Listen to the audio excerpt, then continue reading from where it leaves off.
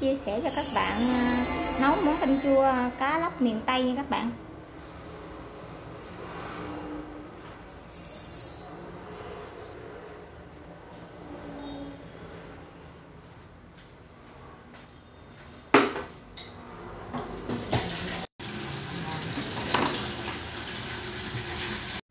Hello, xin chào các bạn.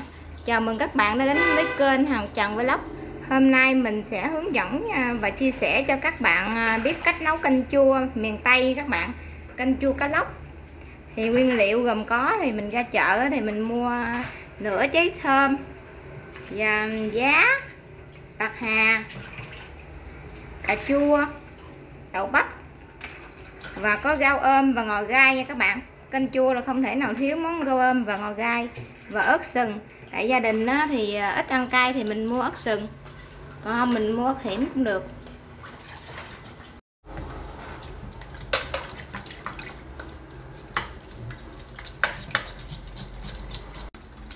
À, các bạn à, mua cá về xong các bạn à, bỏ muối vô thì chanh. Đây là phèn các bạn. Rửa là cá không có còn nhớt nữa nha các bạn. Dạ.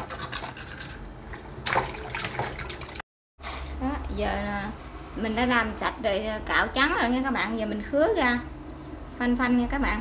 À, đầu với đuôi với uh, cá rô thì nấu canh chua. Còn cái khúc mình á, thì mình sẽ kho tiêu các bạn.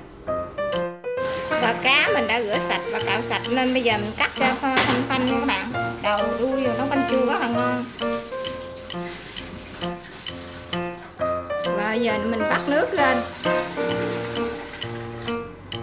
Để à, mình đun sôi lên nha các bạn.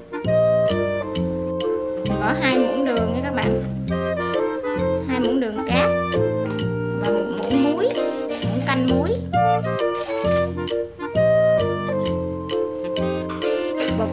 Nước mắm mình sẽ để sau khi ờ, canh chín rồi mình bỏ vào các bạn.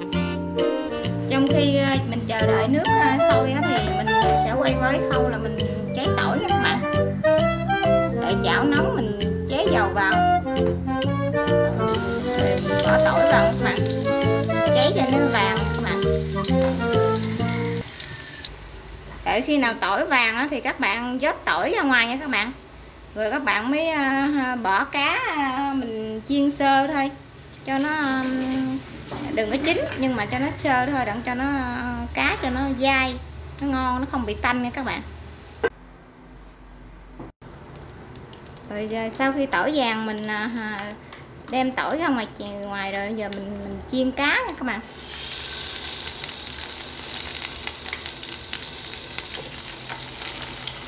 Mình chiên cá cho cá mình nó không có bị tanh và nó à, sẽ dai hơn.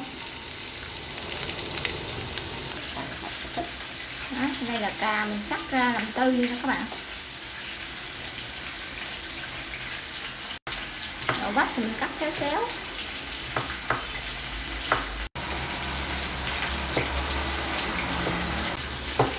Thơm thì mình cắt thành tam giác nha các bạn. Bạc hà cũng cắt xéo xéo như là như đậu bắp luôn. Đó, giờ nguyên liệu ờ, nấu canh chua đó là mình đã hoàn thành xong. Đó, cá mình đã chiên về rồi bỏ vô cái nồi nước sôi nãy mình mới ờ, nấu sôi đó các bạn. Thấy được không? Chưa? Đó, cá lóc mà mình đã chiên cho nó vàng cái da nó rất là đẹp nha các bạn.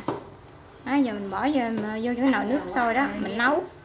Nấu chín là mình vớt cá ra nha các bạn và đây là nước me. Mình để nước sôi vô, mình dầm me cho nó tan ra hết. Ớt sừng thì các bạn cũng sắc xéo xéo nhiều luôn. Nó không có cay máy đâu, không có cay đâu các bạn.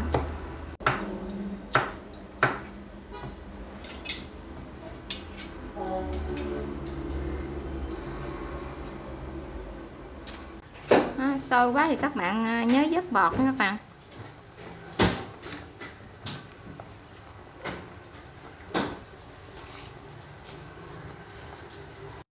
Nếu các bạn thấy hay và hấp dẫn thì các bạn nhớ chia sẻ và đăng ký kênh, ủng hộ kênh cho mình nhé. Cảm ơn các bạn. Rồi sau đây mình sẽ chắc hết tất cả nước me vô trong nồi canh chua các bạn. và cá canh chua mình giờ đã chín rồi nha các bạn giờ các bạn vớt ra dĩa nha các bạn để thôi là cá mình à, để lâu rồi sẽ bị gã vừa chín tới là mình sẽ vớt ra dĩa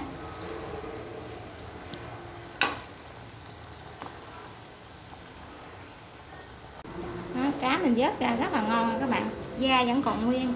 Đâu để À nè đó giờ con mình để bắt hà vô các bạn. Hà thơm. Giờ thơm cà chua Đậu bắp. đậu bắp. Để tất cả à, rau đồ vô. Nhưng mà giá thì để lại cuối cùng ha bỏ giờ giờ để nó chín nha các bạn. Cà chua thơm và đậu bắp thì nó lâu chín mình để trước cho bắt hà rồi sau đây à, canh của mình chín là mình để giá vô nha các bạn. Tại vì giá rất là mau chín. Thì canh mình à, chuẩn bị nhắc xuống thì mình à, sắp ngò gai mình để vào nha các bạn. Thì khi bỏ ngò gai là mình bỏ bột ngọt và nước mắm vô luôn. Thì canh mình nó sẽ ngon lắm.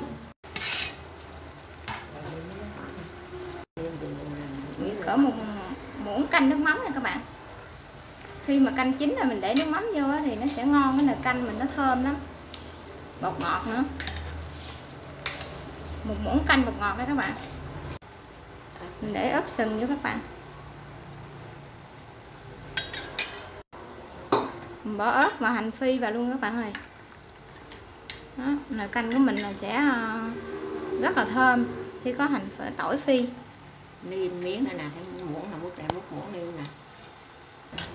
Giờ canh của mình đã chín rồi các bạn. Giờ mình múc ra tô nha các bạn miếng mới len lên mà ờ, canh chua của mình à, hôm nay chia sẻ cho các bạn biết cách nấu canh chua và da còn nguyên rất là ngon nha các bạn. Tuy mình chiên rồi nhưng mà da vẫn dai và ngon. Mà không có bị tanh nữa. Cá nó rất là ngon và thơm. Nếu các bạn thấy hay thì các bạn nhớ chia sẻ và đăng ký kênh ủng hộ mình để mình làm nhiều video mới nha các bạn. Đây là món canh chua, cá lóc miền Tây chúc các bạn à, làm à, ngon à, và thành công các bạn. Chào các bạn. Hẹn các bạn vào clip sau nha các bạn. Hai liếp Pha pha để